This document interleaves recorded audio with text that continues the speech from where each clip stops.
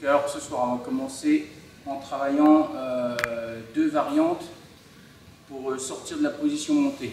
Alors la, sortie de la position montée en classique, c'est ça. Je fais attention d'avoir mes coudes près du corps pour l'empêcher de remonter ses genoux. Parce que si je suis là, il monte ses genoux en dessous de mes aisselles. Et là, si je veux compter, moi, j'ai aucun effet de levier. Mon bassin est plus bas que le sien. Alors que, en ayant les coudes pour l'empêcher de remonter, je garde son bassin au niveau du mien et là, je le monte beaucoup plus haut. Parce que son bassin est vraiment juste au-dessus de mon, bras de levier. Ici. Première chose. Maintenant, ce que je vais faire, je vais devoir attraper un bras. Pour ça, je l'oblige déjà à se rétablir. Hop, et je l'attrape. Alors, je peux venir tout de suite chercher la manche comme ça. Ou je viens chercher comme ça, c'est pas gênant. Mais si vous pouvez, venez chercher la manche. Et bien fermé ici, le long du corps. N'oubliez pas, le bras écarté du corps, vous êtes faible. Là, s'il tire, vous allez travailler en muscle. Ici, s'il tire, là, vous allez être super fort parce que vous êtes contre votre corps. Vous faites qu'un seul. Donc, traditionnellement, on vient là, hop, on ponte droit pour l'obliger à se rattraper ici et finalement, le réoriente là-bas. Il y a beaucoup de gens qui font ça directement. Lui, il va se rattraper là-bas et votre technique, elle ne sera pas valable. Alors qu'en l'obligeant à, à, poser sa main ici, hop, je le redirige. D'accord? Pensez bien à monter avant de tourner. N'allez pas en diagonale. Voilà. Donc ça, c'est la, la, sortie basique. Maintenant, lorsque je vais ponter, je peux avoir affaire à quelqu'un qui connaît un petit peu, il sent que je vais lui attraper le, Laisse attraper le pied, voilà. Et au moment où je vais ponter, lui, il va sortir la jambe, il va la tendre sur le côté. Là. D'accord? Donc tout de suite, je vois un grand espace ici. Et eh bien j'en profite. Je viens serrer mon genou et je me mets en demi-garde. Et dans le même temps, ce bras-là, il va venir dans cet espace-là. On ne le voit pas beaucoup comme ça, hein, quand je suis contre lui. Mais croyez-moi, il y a de la place là. Donc je vais glisser le long hop, et ici. Et là, je le remonte. D'accord Je vais remonter mes jambes, et en même temps, je monte sur mes bras, là. Je tire sur mes bras. Ici.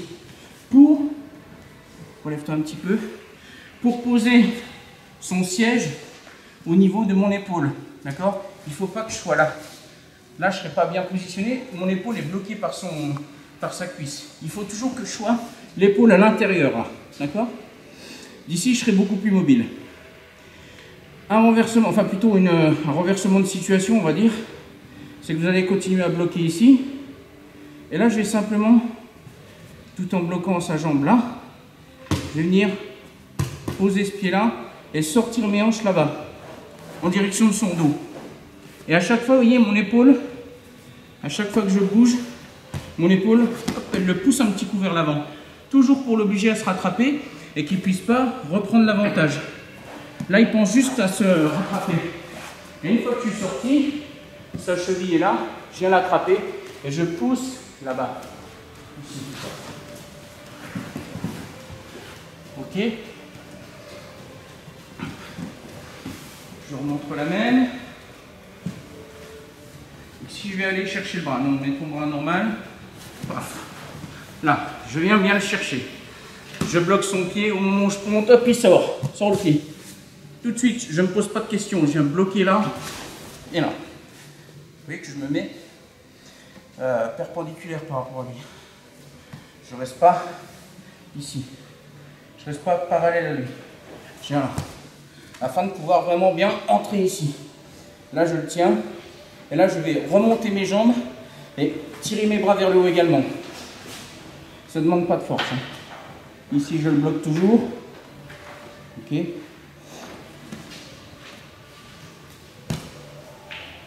De toute façon, son pied là, il n'a pas de force dessus. Tout son poids est là. Donc euh, ici, j'ai pas besoin d'être ultra verrouillé.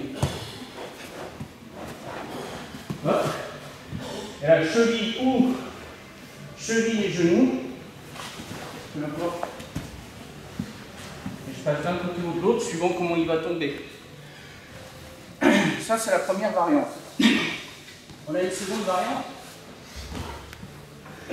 C'est-à-dire qu'il va faire la même chose, mais sauf qu'au lieu de poser son pied là-bas, jambe tendue, il va le poser ici. D'accord?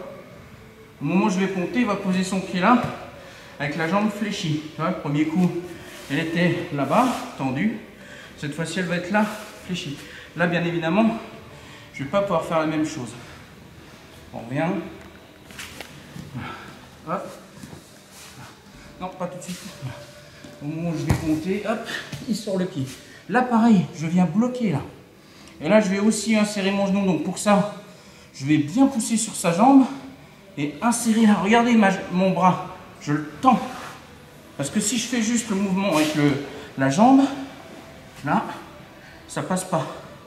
D'accord? Je peux pas là. Alors qu'il faut pousser avec le bras pour décoller sa jambe et passer mon genou. Et tout de suite, je viens chercher ici la cheville. Je tiens toujours ici.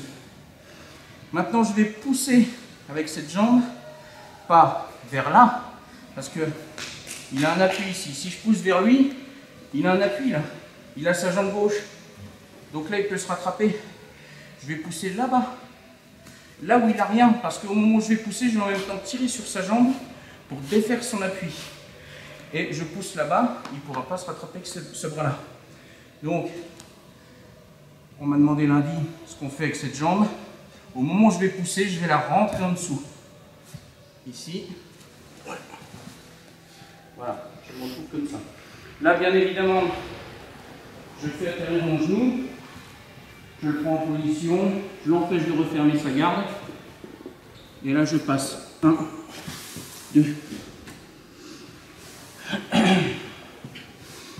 Pousse pas. Le mouvement, quand je pousse, vous montrer la jambe là, c'est ce mouvement-là. C'est un mouvement qu'on fait souvent à l'échauffement, ça. Rentrer la jambe en dessous et s'asseoir. Et ben c'est le même principe. Là, je vais pousser avec ce, ce, tibia sur sa jambe et en même temps, hop, je rentre l'autre en dessous. Encore une fois. Ici, hop je le bloque. Je ponte. Ici, tout de suite, je viens mettre mon bras en opposition. Et je pousse avec ma main. Hop, et je viens récupérer immédiatement sa cheville. Et là, je vais pousser là-bas. Attention à ne pas pousser là-bas, mais à pousser là-bas. Donc, bien évidemment, je ne regarde pas lui, je regarde où je pousse. D'accord Si je pousse vers là-bas, je ne regarde pas vers là-bas. Je regarde là-bas. Voilà. là, je bien là-bas. Il ne peut pas se rattraper avec son bras, il chute. Son bras, je le garde. Je ne vais pas prendre de risque qu'il me bloque. Je suis ici, je viens là. Là, je l'appuie avec ma poitrine pour l'empêcher de s'en servir. D'accord? Alors après, je peux faire aussi l'essuie-glace avec mes jambes. D'accord? Mais j'enlève celle-ci que une fois que je suis là prends pas le risque d'enlever là qui ferme. D'accord? Si je fais les là c'est un qui remplace l'autre et qui le chasse. D'accord? C'est pas une jambe qui s'enlève pour laisser la place à l'autre, c'est une qui chasse l'autre, toujours. Donc je vous montre chaque technique à vitesse un tout petit peu plus rapide. Premier, premier. Non, reviens. Ah, je compte. Tu poses. Je compte, tu poses. Pose le pied.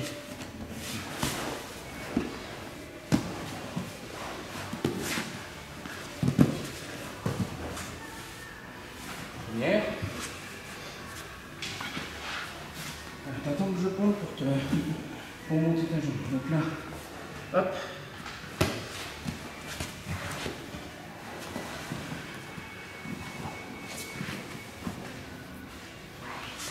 Allez, c'est parti.